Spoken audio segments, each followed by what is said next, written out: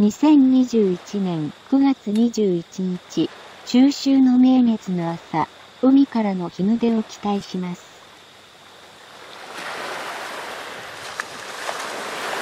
出た。出た出た。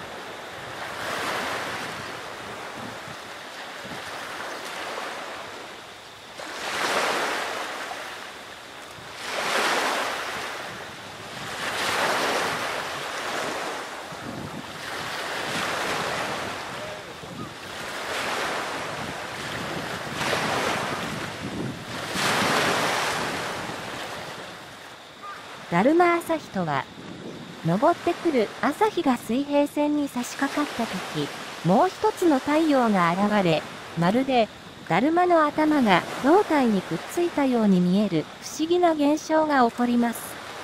これは、海水と大気の気温差により、光が屈折して起きる自然の芸術です。これが瀬戸内海沿岸でも起きます。